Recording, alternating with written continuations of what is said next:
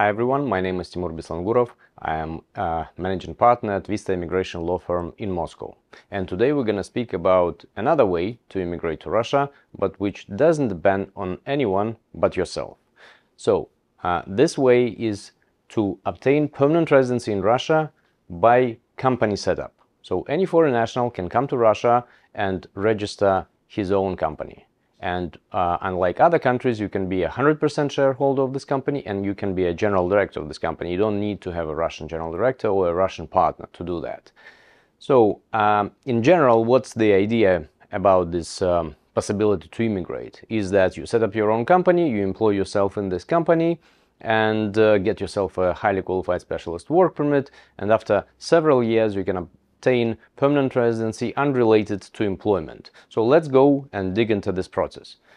So point number one, you, you, you should come to Russia to register your own company. Yeah. Why you need to come to Russia is because uh, in order to open the bank account of the company, the Russian bankers would have to physically see you in person yeah? They cannot do the verification on video zoom or any other means yeah? Because of the deepfake technology in russia it's not allowed. So you would have to come to russia to set up your own company. So the most important thing with regards to setting up your own company is to have an office uh, address like office premises in order to register the company. You cannot use registered address or lawyer's address. It's not really a way to do in Russia. Yeah, it has to be locatable physical office. It can be very small. It can be one single desk, but it has to be locatable because tax authorities may come or they can send uh, letters. And if there is no reply, your bank accounts will be blocked. Potentially, immigration authorities may come to check whether your company exists and whether this company is uh, located at this address. So number one is locate is securing the uh, office space. So company registration, once all that things are kind of established, takes about three to five days. Yeah, then couple days to open the bank account, and pretty much within a week, two weeks, you can register your own company. And the next step would be filing the application for the highly qualified specialist work permit and letters of invitation.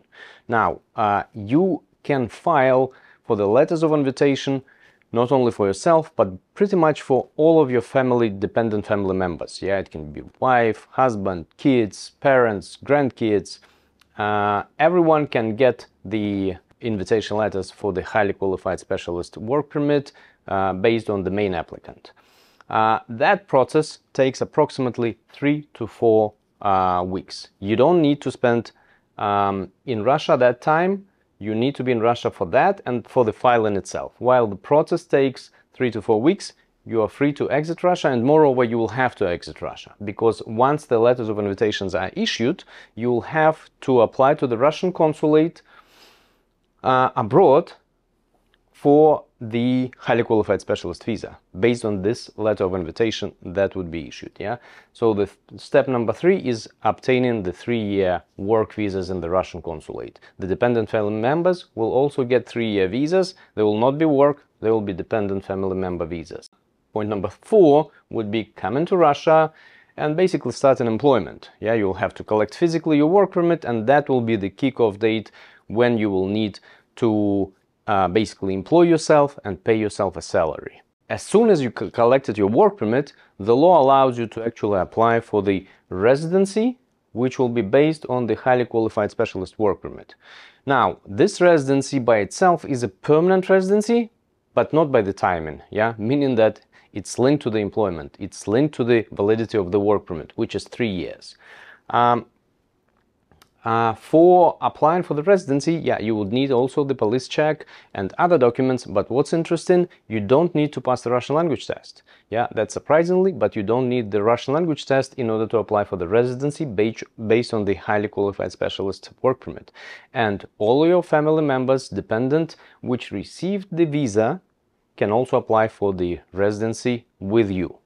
Now, the new law, the new law, yeah, that existed for quite a while. Now, the new law says the following. After two years from the moment that you received your residency based on HQS, you can apply for the permanent residency, which would be unrelated, not linked to the employment at all. Which means that once you receive this permanent residency, you can liquidate your company, you can stop employment, you can keep the company, but just not be employed with this company. You are free from paying yourself the salary and the taxes. Yeah. So uh, the process to get the residency, uh, the initial one on the highly qualified specialist, uh, will take about three to four months. Uh, similar will be uh, after two years. The indefinite unrelated residency will also take about three to four months to obtain. Now, the important thing, uh, let's speak about salary and the applicable taxes. Yeah. So under current laws, and today is 1st of August 2023, the law says that in order to be to qualify for the highly qualified specialist work permit, the employer has to pay to the employee the salary in the amount of 167,000 rubles a month yeah, which is right now approximately uh, $1,700 gross salary. Now, uh, this salary includes 13% tax. Yeah, the individual income tax, which the employee has to pay, is 13%, and this amount is 21,700 rubles. That uh, what will be the tax on this salary. Yeah? Uh, now you will get back to yourself 145,000 rubles as your salary um, back to your pocket. So this will uh, be applicable until you get and while you have the work permit highly qualified specialist and until you obtain the residency based on this work permit. As soon as you get the residency based on the highly qualified specialist work permit, another tax kicks in which will be the employer tax. Yes, social taxes, pension taxes, and approximate uh, because there is a uh, the tax rate is uh, de uh, decreases the higher the salary the lower is the tax so the tax would be 27,486 rubles you will pay employer will pay additionally to this amount this amount employer will pay for social and pension taxes and that will kick in approximately after 3-4 months from the moment you get your work permit and right after you get your residency. Your status changes, yeah. You'll have to pay the pension and social taxes. Now, from 1st of March 2024, by the law, the salary for the highly qualified specialists will increase for everyone. And it will go up to 250,000 rubles a month. Uh, and here are the taxes, yeah. So as of 1st of March next year, that will be the gross salary so individual income tax will be 13% again, but uh, the actual number is 32,500 rubles. And as soon as you get your residency, you'll have to pay social taxes and pension contributions, which is 39,936,000 rubles. Basically, this way to immigrate is not related to any approval, to any lottery, not dependent on the government. Anyone can come to Russia and do that. And if you calculate how much time you'll have to basically bear the responsibility to pay yourself the salary, that will be approximately for two and a half years. Yeah, if we calculate everything, all the process, maybe a bit more. Uh, and in taxes, it's very hard to say exactly the number, yeah, because it depends on when you start. If you start now, your salary will be less. If you start after 1st of March, your salary will be higher. But in any case, uh, these are the amounts in taxes that you'll have to pay, yeah.